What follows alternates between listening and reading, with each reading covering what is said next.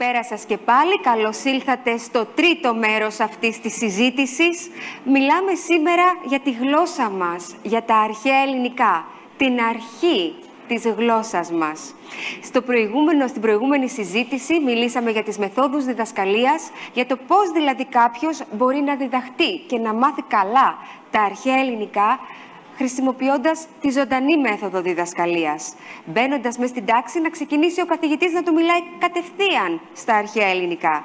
Και ξέρετε για εμάς που έχουμε το παρελθόν των νέων ελληνικών, έχουμε αυτή τη βάση, τη γερή των νέων ελληνικών, το να μπει κάποιος μέσα και να μας πει χαίρε ή χαίρετε, δεν μας ακούγεται καθόλου ξένο. Και όμως τα αρχαία ελληνικά μπορεί να διδαχτούν με αυτόν τον τρόπο και έτσι πιστεύω ότι μέχρι το τέλος της συζήτησης αυτής θα σας έχουμε πείσει και για αυτό.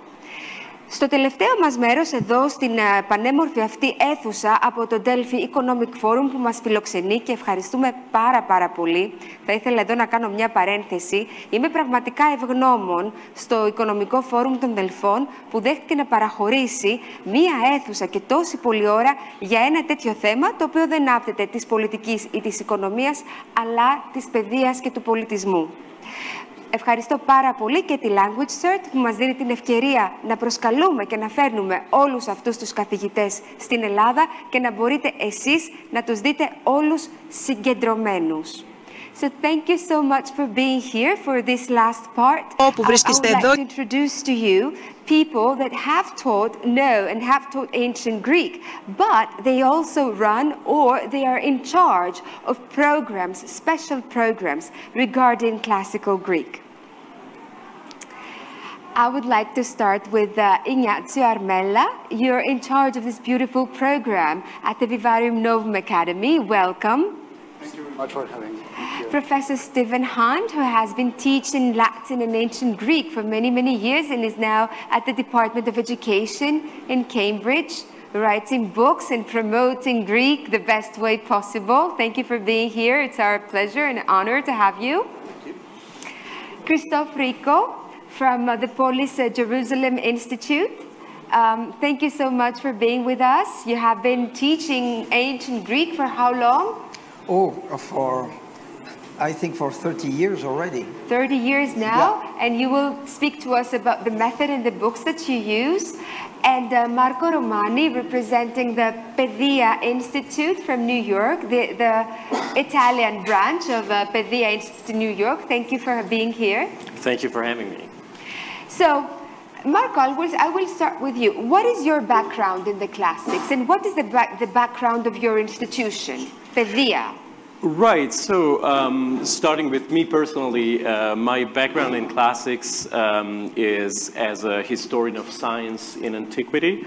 Um, so I have a PhD from Harvard University, um, at which I uh, completed a dis- dissertation on the idea of scientific discovery in classical antiquity. So I'm particularly interested in the uh, connection between um, the ancient Greek world and the development of, uh, of what we call science.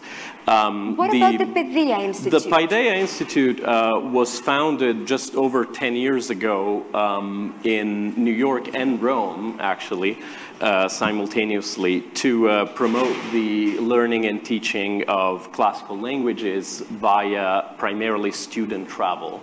Um, so we, at Paideia, we like bringing uh, students to Greece and Italy and other parts of Europe to introduce them to um, the classical languages in the places in which they were born and spoken. Why is this important? Why is it traveling and bringing students to the place where all these beautiful things were born that you said before? Why is it so important? Why can't they just sit, stay in New York and learn about this? Well, to put it very briefly, because it really makes things click. Um, when students who often have never been abroad or sometimes they've never left their hometown or states, um, for the first time in their lives, they see the Acropolis, you know, the Parthenon, or, you know, the beautiful Temple of Apollo here in Delphi, or the Colosseum and the Forum in Rome. Um, it really brings the ancient world to life, uh, to life for them, and they really start um, seeing the connection between the text they read, the languages they learn to speak and read, um, and concrete life, concrete lived so experience. it's, it's an inspiration to them. Exactly. It brings the, the spirit out of the language. So uh, you, Ignacio, tell us a little bit about the Vivarium Novum Academy in Italy. Uh, what are you specialized in? And uh, what kind of students do you accept at the academy? Okay, so uh, as for myself, I am uh, Mexican. I have been in the Academia Vivarium Novum for some uh, years already. And um, I study classics in uh, both Mexico and Italy. And I teach in the Academy Vivarium Novum both uh, uh, philosophy, ancient philosophy, and also Latin composition. The Academy Vivarium Novum has a long story, but long story short, as they say. Uh, right now, it exists today, it's an international school for the humanities, for the classical humanities. We have people coming from all over the world. We have uh, people coming from uh, America, North America, from uh, South America, from uh, Europe, of course, also from uh, even India, China, from Nepal. We have students, and they are all together. they live in a sort of college environment. they are sort of a large family and uh, they are gathered by their passion for the humanities, for classical humanities. And what is the only rule that you have in the academy? the main rule is that they have to speak uh, in Latin, or if uh, they are not able to do it, also in Greek. Uh, they can. So the only rule in the academy is for everybody to speak Latin and ancient Greek yes. exclusively.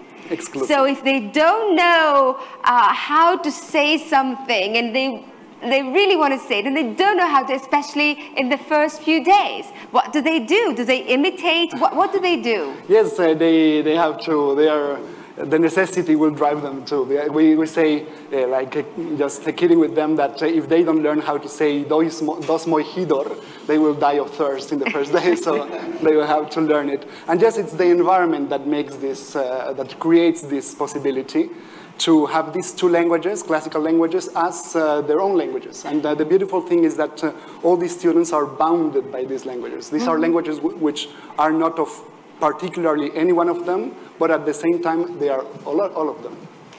Steven, tell us, why are you so interested in the living language method? You have edited, written and published books. You're publishing magazines, journals about the active language teaching. Why are you so interested in the specific method of teaching?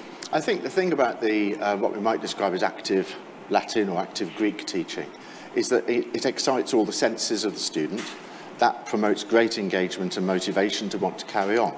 It's also, I think, a way in for everybody. Um, as, as you said, gesture is a starting place for learning a language. It's not take gestures out and look at words. It's about using language with what other, other forms of communication we have to actually get to grips with the language. And you start off very small. You start off with simple things about yourself and about things that you do around you. Because it's not just about having the words and actions, it's also about having something to do with those words and actions. If you're staring at them on the page, it's kind of like pleasing the teacher. And we like our teachers, of course, but that's, that's as far as it goes. So in a sense, the audience is yourself and your colleagues, and there's a reason for doing something. I think that's the most important thing. And I think we've lost that mm. over the last hundred years or so, partly in the UK because Latin and Greek became part of an examination system, which was not really about learning the language for communication. It was learning about how languages worked for the process of getting into certain sorts of university. I have to say, including mine. Um, and I think we've passed that now, and we're finding that are, we're, we're going back, as you said, as you said, back to the past to find out ways that actually made people, everybody, learn language. I mean, Reginald Foster, who I'm sure we're all very familiar with, you know, he said, I, I won't use the words because we are on television, but he said, you know, the, the basest people in Rome could speak Latin. The basest people in Greece could speak Greek. We've just made it too hard for the people of the 20th century. And I think so that's we're, it. we're not stupid. It's just very hard. Um, I don't, we make it harder. We make it harder than we need to. Um, and I think certainly in the UK, we've made it too difficult for kids to want to progress because it's been bound up with an examination system. But I do a huge amount of travelling, as I'm sure you noticed. Um, I was in Australia a couple of weeks ago, and I've been in America quite a few times. One day, maybe I'll find my way to the Polis Institute. And what I see there is this real turn in pedagogy for the classical languages. And what we're trying to persuade is governments and oh, examination assessment boards to match what's going on on the ground in classrooms today. Do they listen to you? Slowly, yes. I mean, I, we're here at the, at, at the guide of a particular organisation, um, and I'm, they obviously are very, very interested in ways of measuring students' proficiency in how they use language. So rather than testing them against a pre-arranged set of rules, oh, you can't do that, never mind, you get a low grade. It's actually saying, what can you do with the language? How are you using the language? And I think that's the way forward. I think that's a number of examination boards are trying that out. That's very good. Um, Christophe, tell us a little bit about the Polis uh, Institute, about the method that you use there. You're also promoting the active language method. Uh, that is, people come to the class and without knowing Greek, you start talking to them in ancient Greek right away. Perfect. Please tell us how you do this and which books do you use? Okay, there are many things in your questions. uh, first of all, to well, the way it is true that when students arrive, when they come for the first time, they don't know anything in Greek, and as it is done in many other institutions, we just start speaking Greek. As uh, when English is taught, it, it is in This, the same I, way. I, I love this approach. We, ju- we just start speaking in Greek. Well, I mean, imagine if this could happen in Greek schools or Greek universities. Christophoros, ti onomasoi, Ti onomasoi estin, and and so on. I mean, so uh, and there are techniques for that. So uh, you don't. So there are techniques. First of all, it's very important the progressivity. So there are things that have been taught to to be taught first, and things that have to be taught afterwards. Uh, for instance, um, it's very interesting to see how a child learns his or her own mother tongue. So, uh, for instance, imperatives are very important right from the very beginning. Or deictics, what's this, what's that? And if you follow these, uh, these elements, um, it really uh, is very effective. So uh, what, we, what we notice is the effectiveness, uh, the, the, the, the, the rapidity with which people learn the language and start speaking. Tell us about the books that you use. The, Yeah. Some of them you have written the books uh, that, that, that are being taught at the Polis Institute. But also tell us a little bit about the children's books that you have Oh. translated in ancient Greek. I read, I recently read Hansel and Gretel in Yeah. ancient Greek. How beautiful is that? And why do you do it? Okay, so I will start with Hansel and Gretel and then I will talk about the, the, the, the, the, the, the books. Uh, Hansel and Gretel, so the idea was to give comprehensible input to the students. There are not many texts that are easy to read and there are, that are accessible for someone who has followed uh, 120 hours of uh, classes. Because basically the idea is to start reading Hansel and Gretel, understanding everything, which is very rewarding for a, for, for a learner. I mean, you, you have only 120 hours of uh, uh, Greek learning, and you can already read Hansel and Gretel because you have all the new words that are in the margins. So that is extremely, extremely rewarding. And if you read something that you understand, something that is very simple, but that you under- understand, you want to learn more. I mean, it's, uh, uh, it's extremely important to reward the learner. And it creates motivation for the students. Uh, uh, yeah, yeah, absolutely. So then the uh, the other part of your question was about uh, the method. So uh, um, I have uh, written uh, the Polis uh, book, Polis, uh, speaking uh, ancient Greek as a living language. The idea is to have uh, a book. Λαλήν τη κοινή διαλέκτο τη ζώση. Ε? Uh, Μάλιστα. Uh, so uh, the idea is to, to have a book that teaches you not only to read Greek, but also to speak. And first you need to speak in order to be able to read faster. So uh, that book has been already published uh, uh, like uh, eight years ago. And now we are about to publish Polis 2. So the second volume of uh, the Polis uh, method will be published. Uh, uh, I, I mean, it's already almost finished, so it, will, it should be uh, within the, f- the, the very few months coming. It will be, it will be available. Very good. Thank you for that. Uh, what other tools, motivational tools, do you use at the Paideia Institute, uh, except for traveling? And do you think that by certifying classical Greek gives motivation to the children to learn more? Right, I think so. I'll start from the very end of your question. Uh, I think it will because it has been mentioned in the, in the previous panel, um, offering certification for an ancient language such as classical Greek um, gives it in a way uh, the same uh, status, let's say, or the same legitimacy that we have in um, the teaching of modern languages, because you know we were all used to the idea of having certifications for English, French, German, and so on. You know, if you want to enroll in a degree program in an English-speaking country, you need to have an English language certification, and so on. So I think that that will uh, sort of put ancient Greek on the map, so to speak, from that from that point of view. Um, at the Paideia Institute, um, part of the way in which we like to motivate students is by offering self-paced curricula.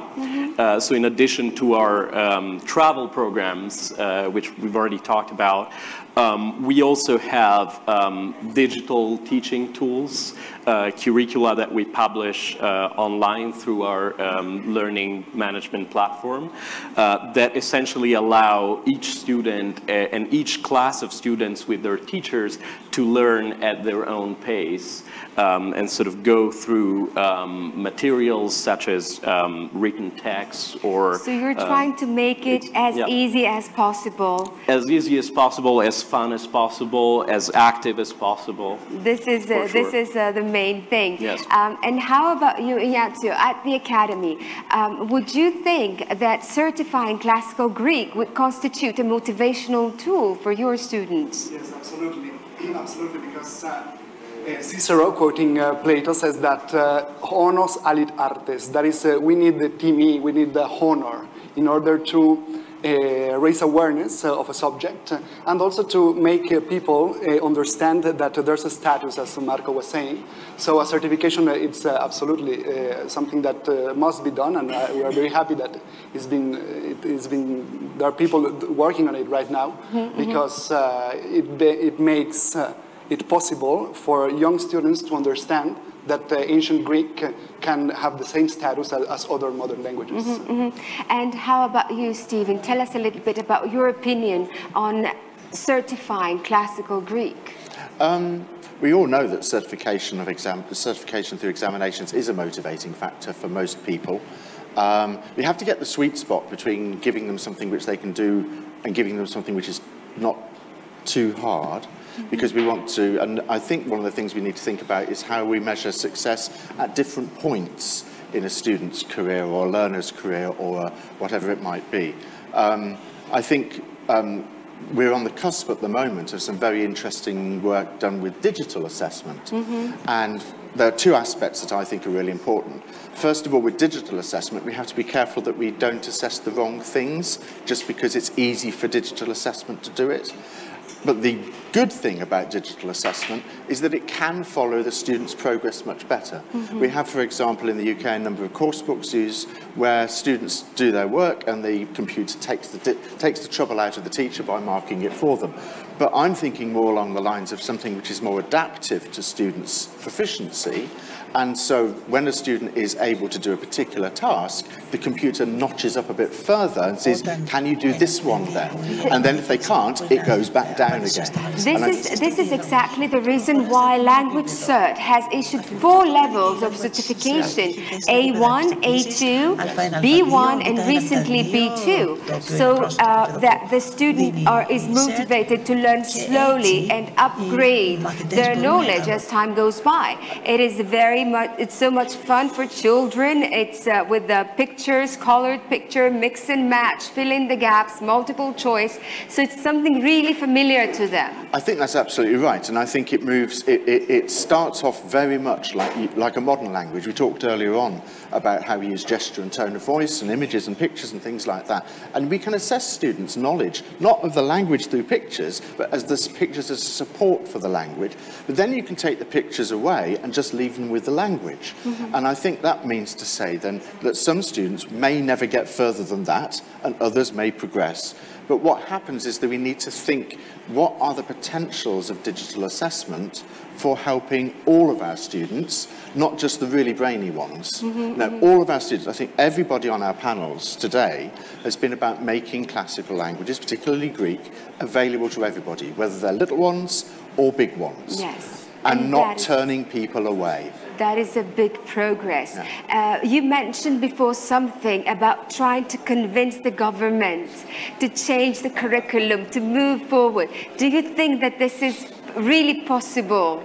Do you think that we can do this? I think we can, yes. Um, I think what I saw at a conference only, uh, only last weekend was that in Greece there's a change in the curriculum for ancient Greek, as far mm -hmm. as I mm-hmm. can tell, at uh, lower intermediate level.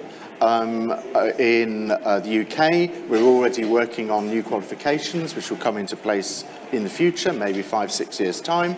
Um, and this is from the ground up. It's from teachers who know their classes and know their students and are dedicated to wanting to make Latin and ancient Greek available to more people.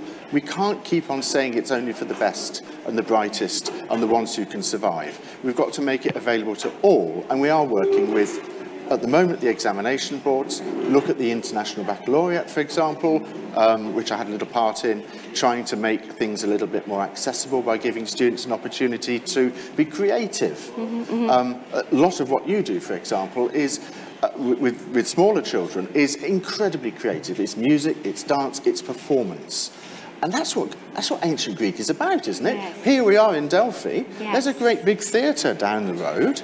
And yet we take it out of the no, no, no. We must just look at words mm-hmm. on a page. I couldn't agree ones. more. I couldn't agree more. Thank you all for being here with us today here in Delphi. Thank you so much for watching us. Thank you so much for being here.